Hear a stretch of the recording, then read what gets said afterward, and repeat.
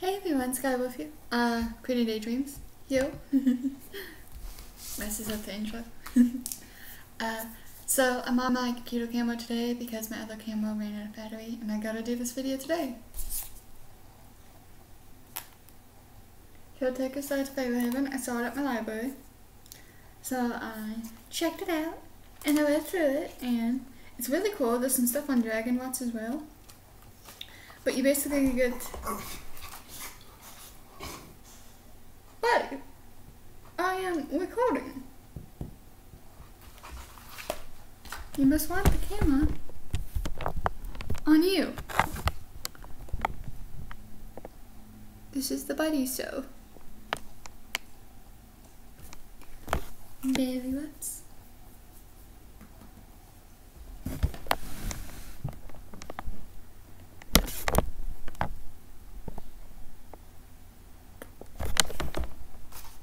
Okay.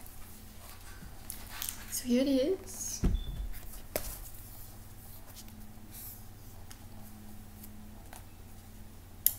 The back. I'll read it to you. You may have read about the creatures and the satyrs, the fairies, and fog giants, but have you actually seen them? Now you can. And you won't even have to drink the milk. For the first time, witness the mystery, the majestic the majesty and the bond of Celebrant and the king of Dra- the king of dragons, and discover how to view the blinding beauty of the fairy queen. And it tells you to pay extra attention for Dragon Watch stuff, and there's a whole page to Dragon Watch stuff. So this is like the cover inside.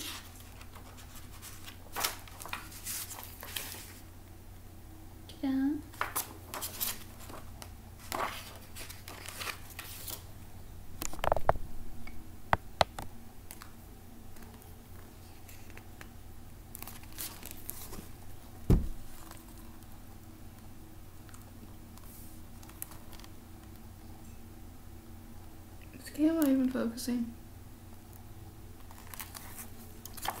You. We got the table of contents. Okay. So we got the introduction, which I will read real fast. If you are in possession of this book, you are assumed to be a caretaker or apprentice caretaker for heaven. By now you have been introduced to the world of mythical and magical creatures. However, there is still much to learn. Previous caretakers of Fablehaven thought it would be helpful to create a caretaker's guide specifically for those tasked with the job of nurturing, protecting, and surviving this uh, preserve and its inhabitants. Do not be fooled. Fablehaven is unpredictable and dangerous place.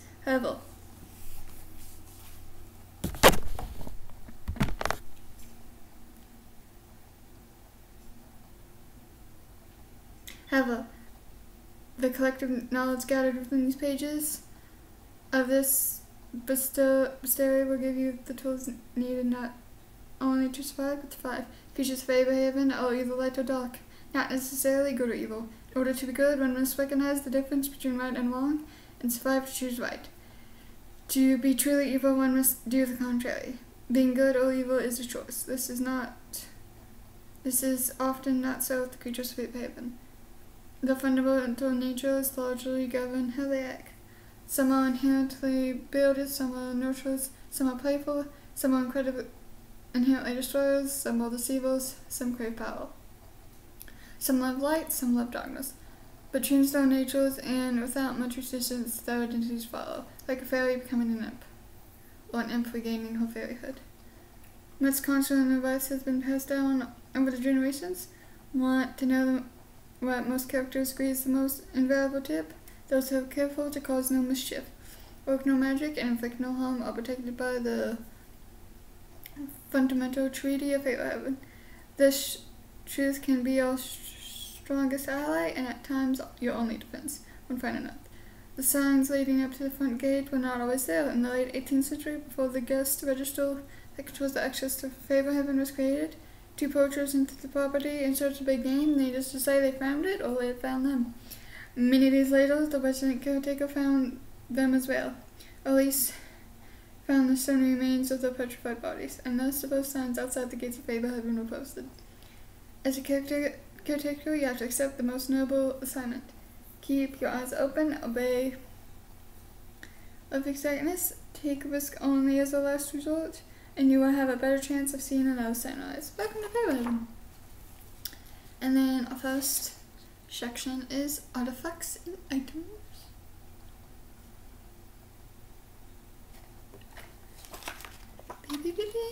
And I'm just gonna show y'all. So we got the beast plate. That's the one that it's from uh, the Dragon Sanctuary book. That's his Kendra. Anti-Ishib candle. They use that. Borrowed messages. I don't really remember this. The borrowed messages. Uh, Destruction Bow, Dragon Deals. I remember that being mentioned. Uh, Holy Wand. I don't remember that ever being mentioned though. And then Kita in the Hotel. I remember that. This is what it looked like. No picture. Ooh, and then this one's all about the keys to the demon prison. It's got a little different aesthetic, at least like it's old pages that have been like scrapbooked in, which I like. And that's all the keys, and that's all how they all look. I'm not gonna lie, I thought this thing was like a cylinder. Translator. Then we got the caps up, Ladylike, uh, the magic glove, Sea magic sword, and the cocoon that Seth used to escape the fog demon.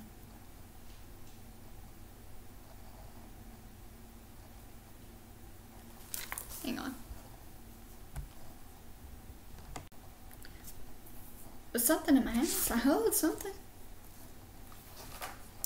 Must be some magical creature, because I didn't see anything. Okay, I don't know if I showed you a picture.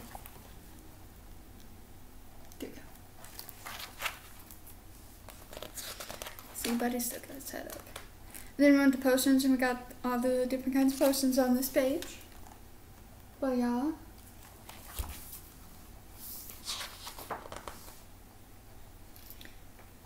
Then we got other things like the quiet box and the rain stick.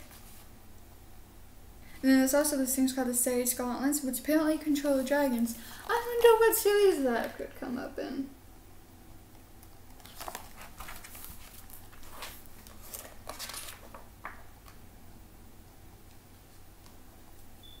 And then here's some other stuff.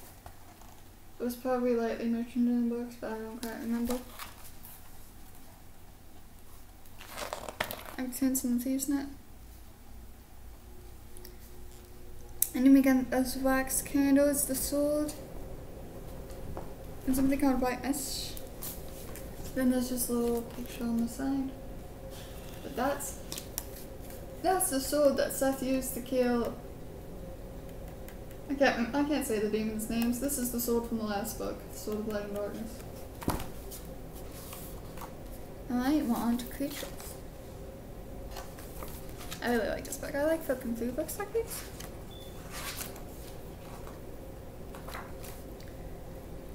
Alright, here we go. I'm assuming this is picture of the blink side here, and then we got asteroids. And there's also little notes that Seth and Kendra and the Sados wrote. Occasionally, uh, Grandpa and Grandma Susan, Stan and Ruth. I'm just gonna show y'all brownies on this page. Aren't they fucking cute? I'm a brownie. Come make me brownies. I need to finish the ones I made though. I wash my hair today, don't mind me.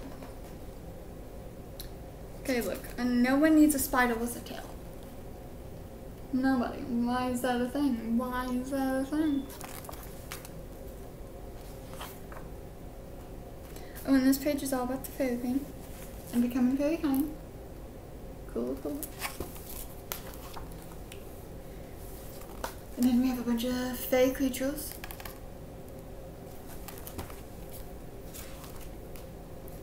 Now we're on to giants.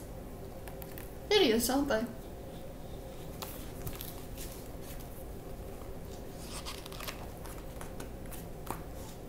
Then we got some goblins and golems, but then we have Hugo Everyone loves Hugo. Look at Hugo. Who doesn't love the Hugo? Hugo is best character. We got the Griffins, a whole page to them.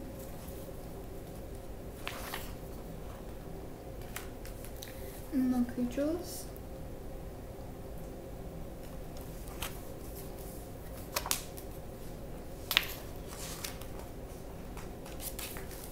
Even more creatures. There's a lot of creatures.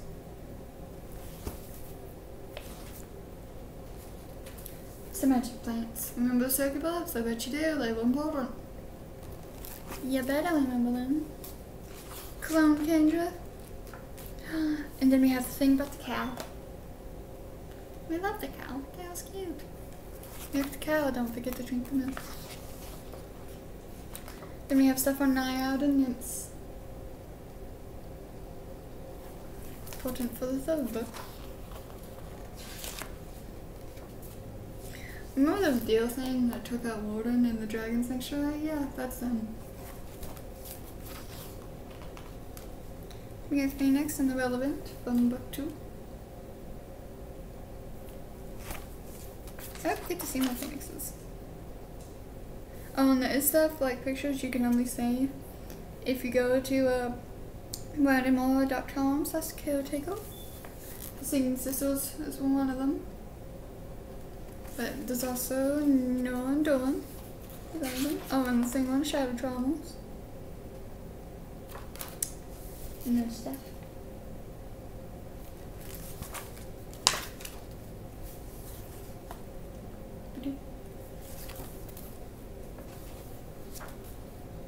Unicorn.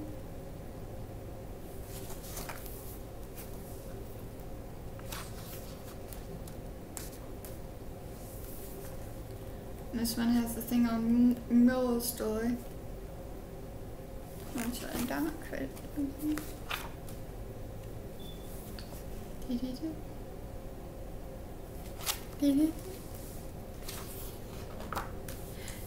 Demons, they get that one section.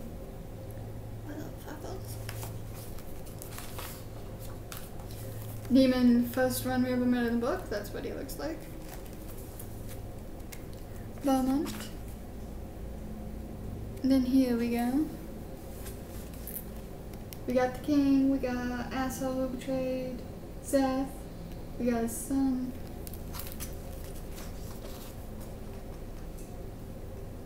Here's Supreme Law, and you can forget about PP Purplehair later.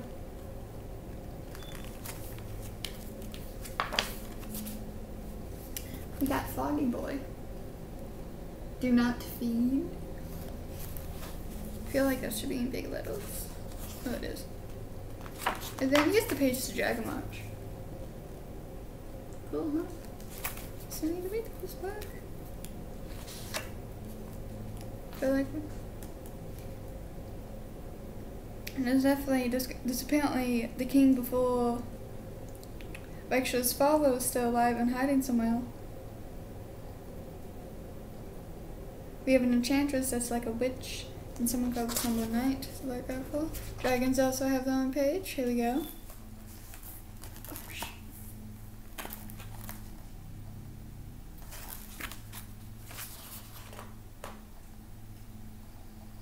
Here's the King of Dragons, and then this is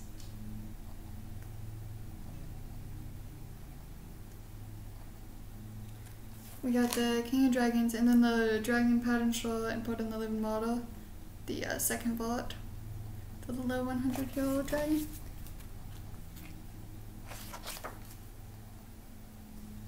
And then we got Na Nafa, which apparently is the mother of the dragon. I didn't realize that's also the one that helped. Nevada. And we got Alexius. Look at how cute he is. Look at how hideous photo is. Battle, whatever. Mm-hmm.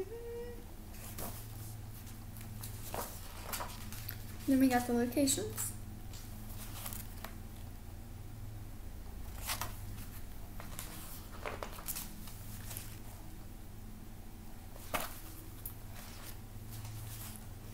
Pond. Beautiful as always.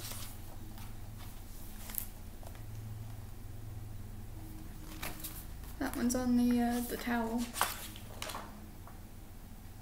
Then we got this. This one's all on Fablehaven and Midsummer's Eve and stuff about the register.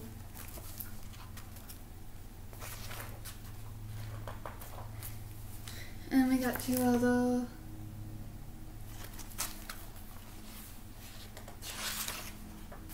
Then we got a map of all,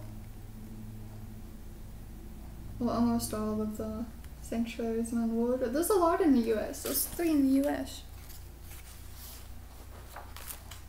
Literally in the borders of the US. This is the old manor. From like the book, the Shadow Plague. The original house in Fablehaven.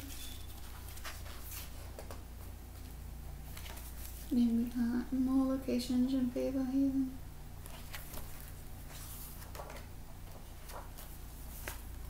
And that's the island we find a battle with. Wizards have their own section as well. Again. The other thing on the side of the even so, two wizards. And that's here we go.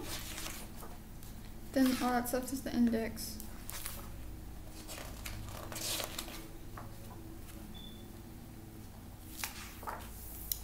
And that is this book. Quick little look through this last for you. Really good read. If you're a big Fablehaven nerd, must have. It's a must have, period. Period. I gotta read Fablehaven and watch Dragon Watch. I mean, read, read the first book of Dragon Watch. Yeah. Anyhow, sweet dreams everybody. Bye bye.